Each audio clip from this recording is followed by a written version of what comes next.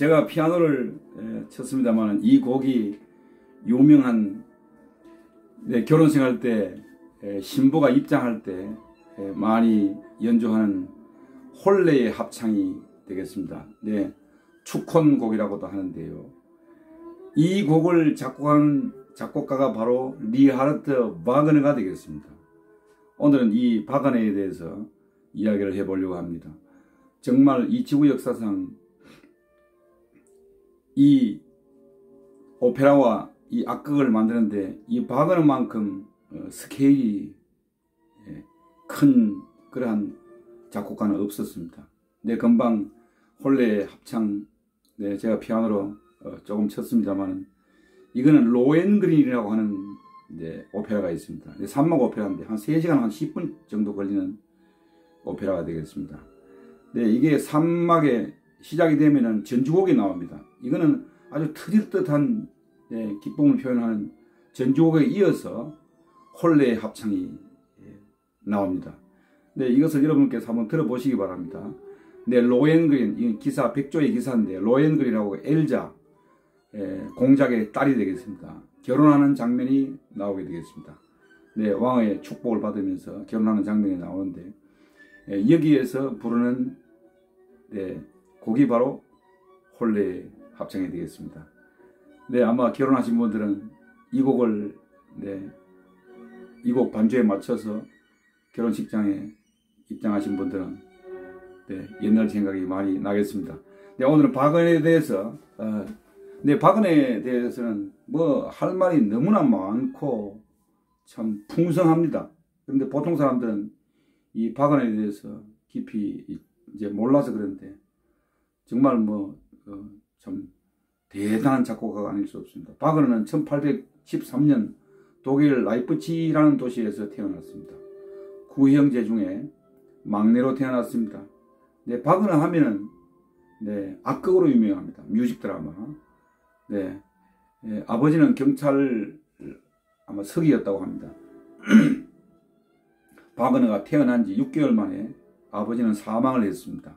어머니는 연극 배우이자 네, 가수도 하고 또 이 그림을 잘 그렸던 이 가이어와 네, 다시 재혼을 하게 됩니다. 네, 그래서 이 박은혜는 의붓 아버지로부터 예술에 대한 안목을 많이 넓혔다고 합니다. 그래서 훗날 이 박은혜가 이제 종합 예술을 이제 자기의 그 예술 세계를 추구하게 되는데 이때 이 의붓 아버지 가이어의 영향이 컸다고 합니다. 8세 때 또 불행하게도 의붓 아버지마저 의붓 아버지인 가이어가 세상을 떠나게 됩니다. 그래서 드레스덴으로 네, 이사를 하게 됩니다. 네, 저도 드, 레스덴에 가봤습니다만 참 아름다운 도시였습니다. 2차 대전 때 거의 뭐 어, 완전히 완전히 도시가 네, 파괴되다시피 했습니다. 한 그참 어, 유명한 도시가 되겠습니다. 그래서 드레스덴 극장에서 베브의 그 마탄의 사수라는 오페라가 있는데 이 오페라를 보면서 이 바그너가 나도 예, 저러한 유명한 지휘자가 예, 돼야겠다 이런 생각을 했다고 합니다. 바그너는 음악을 배우기 위해 라이프치히 대학에 입학을 하게 됩니다.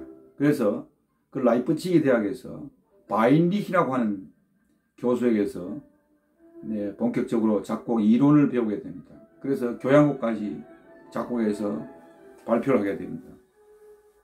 그러나 박은혜의 관심은 네, 이런 기악곡에 관심이 별로 없었습니다. 오페라에 관심이 있었습니다. 그래서 20세인 1833년부터 39년까지 6년 동안 오페라 작곡가가 되기 위해서 기량을 계속 연마하고 공부를 했습니다.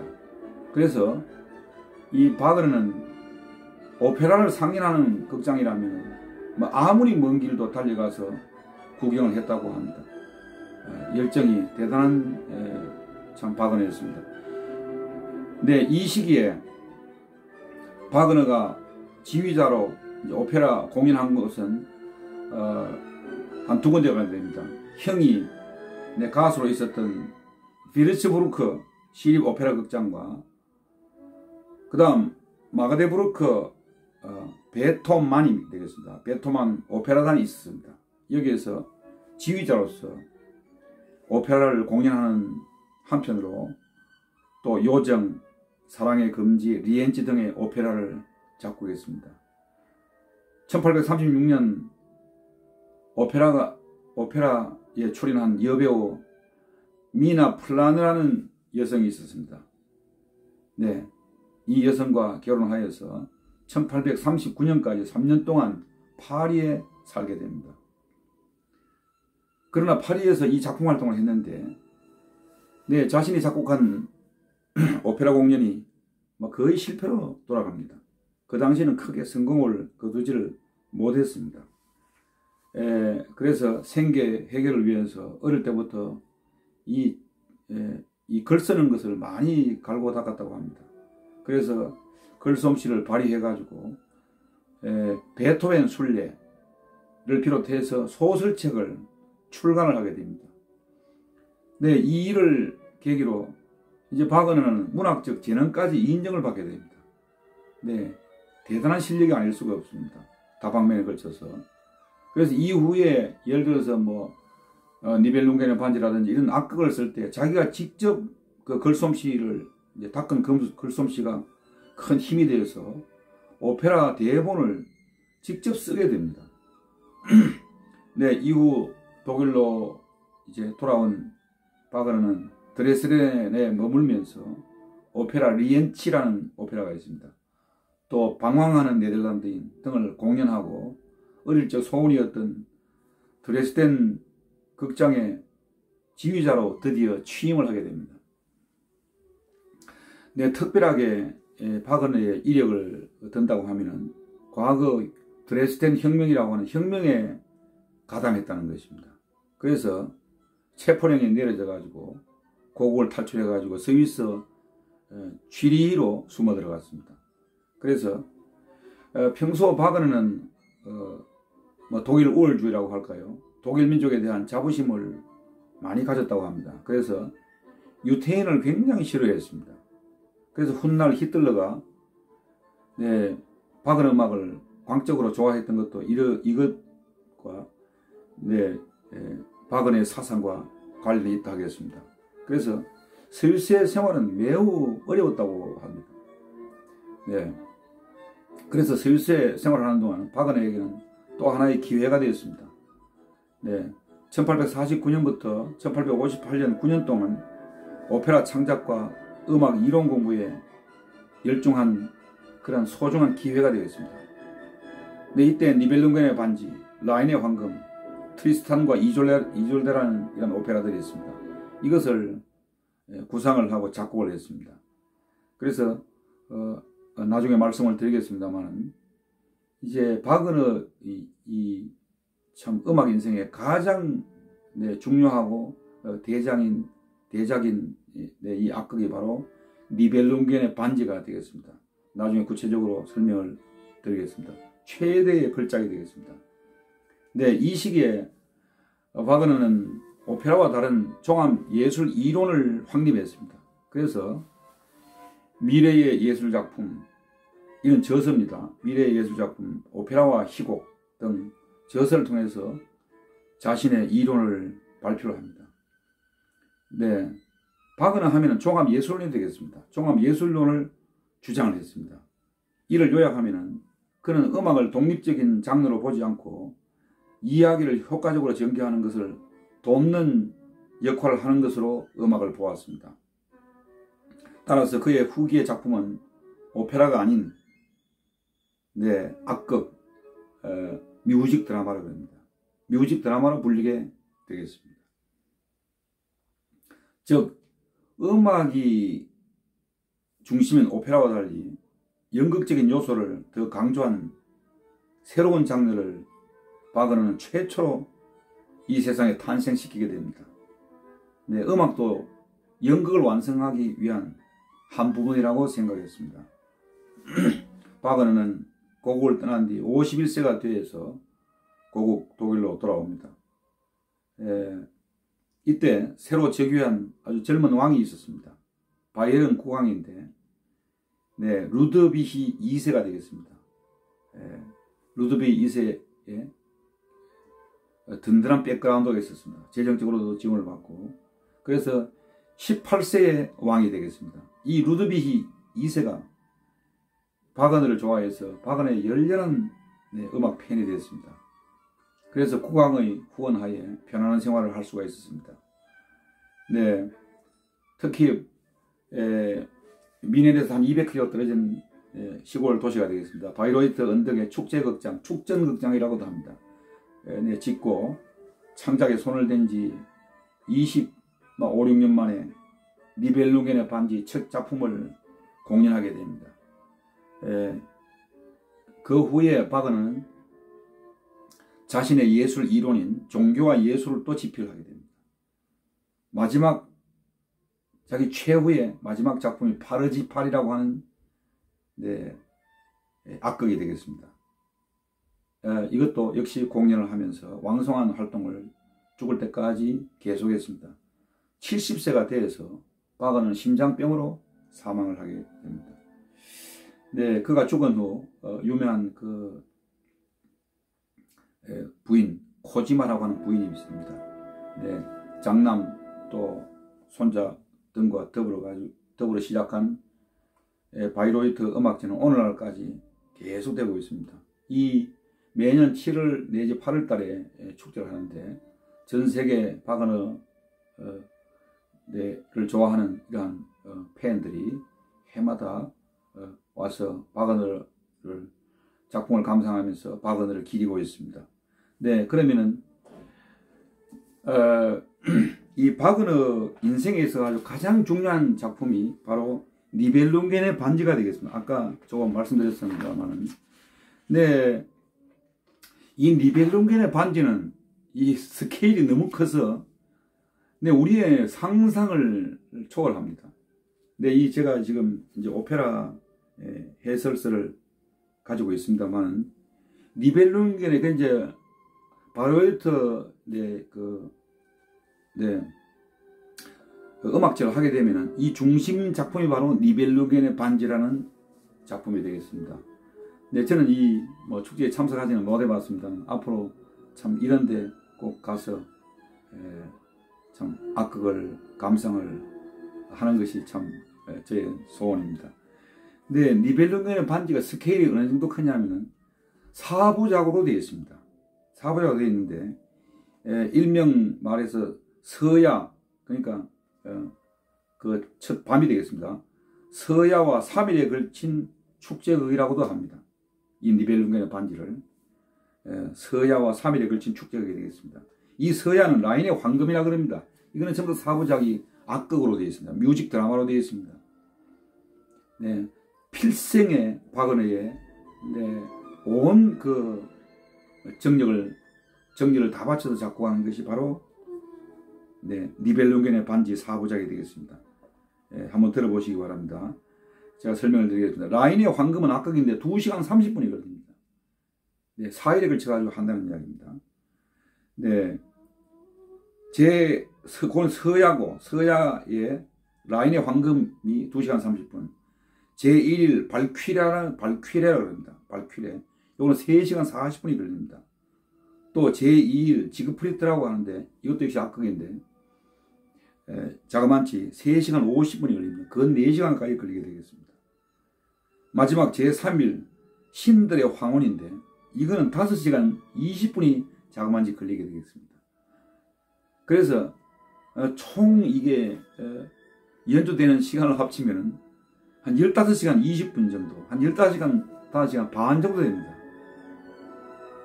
보통 우리가 어, 베르디, 푸친의 오페라 그러면은 뭐 아무리 많이 걸려도 뭐 1시간 반, 2시간 하면 끝나겠습니다.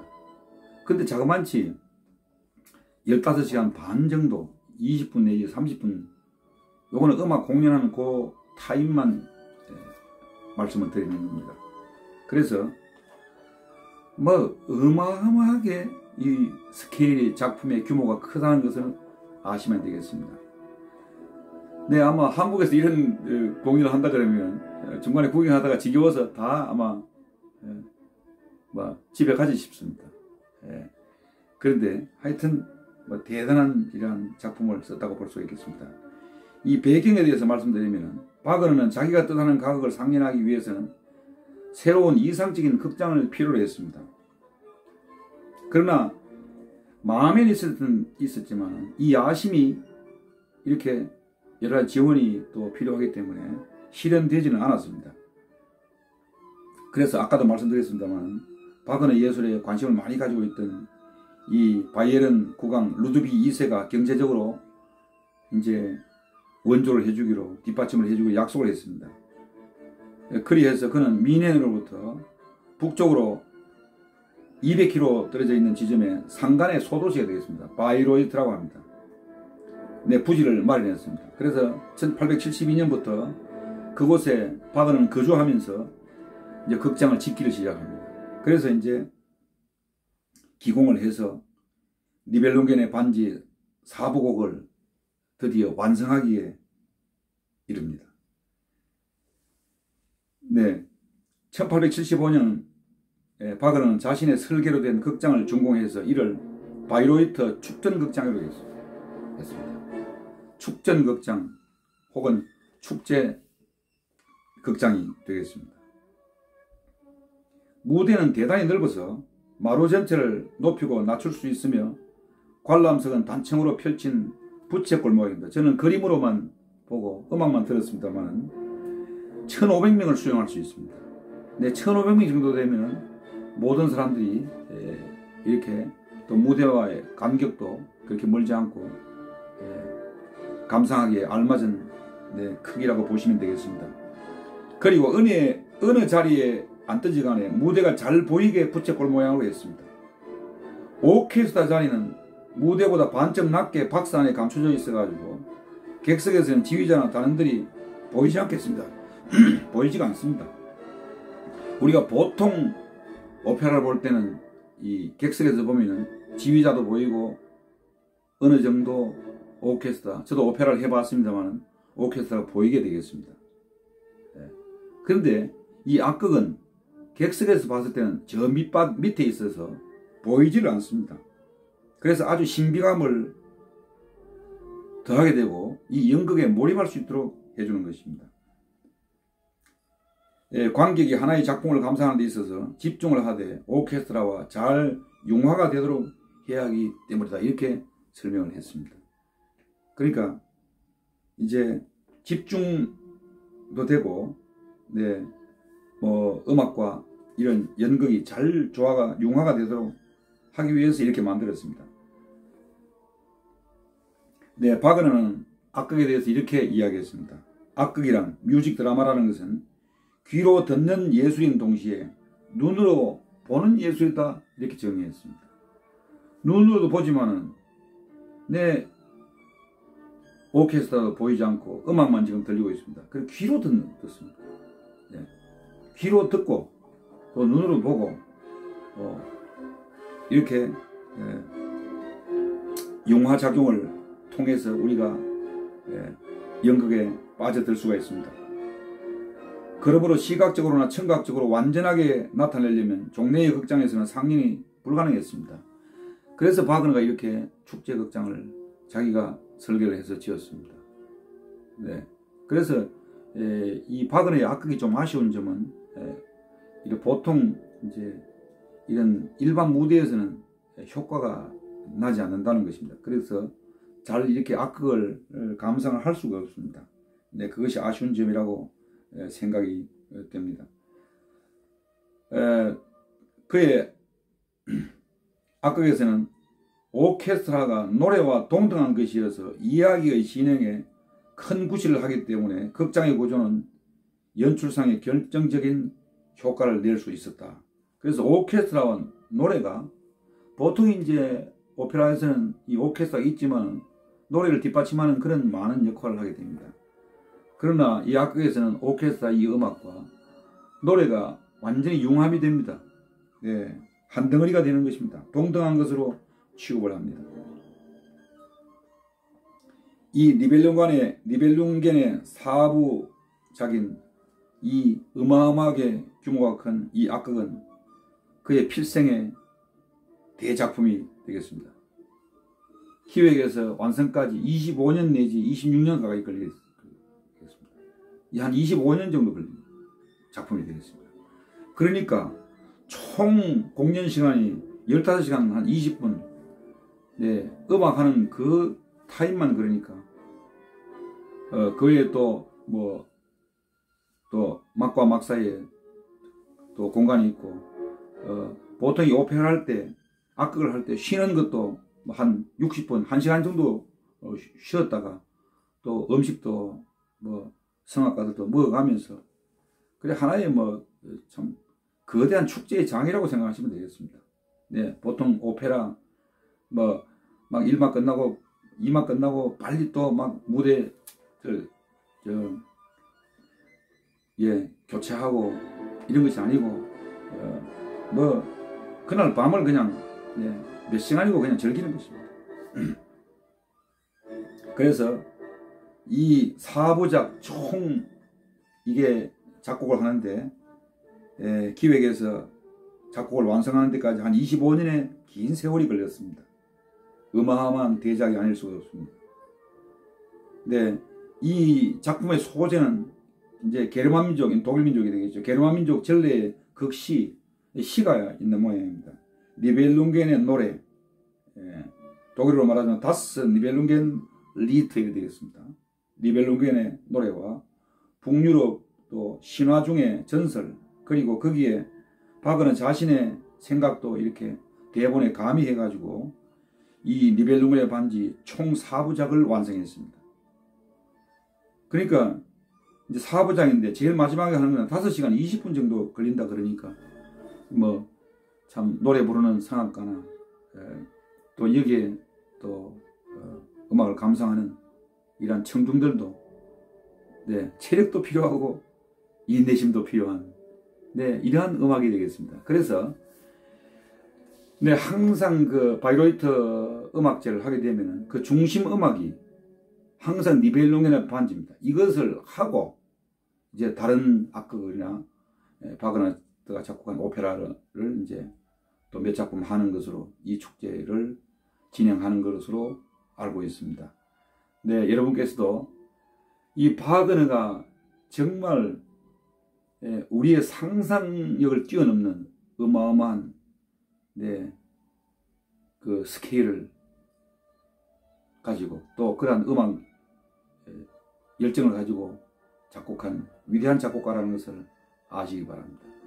네, 예, 우리가 몰라서 그렇지 우리 주변에 네, 이, 아까 제가 결혼 행정 결혼 예, 저, 합창곡 축혼가를 예, 피아노 쳤습니다만 뭐 다른 작곡가들도 마찬가지입니다. 예, 조금만 관심을 갖게 되면 예, 그 작곡가하고 또 친밀해지고 또 음악을 좋아하게 되어 있습니다. 네, 예, 평소에 우리가 잘 접할 수 없었던 박은 음악 예, 여러분들께서 어, 이 방송을 보시고 예, 박은 음악 많이 사랑해 주시고 어, 즐겨 주시기 바랍니다. 네 오늘은 정말 어, 너무나 위대한 예, 악극의 작곡가 리하르트 바그너에 대해서 설명을 드렸습니다. 네 다음 시간에 뵙겠습니다. 안녕히 계십시오.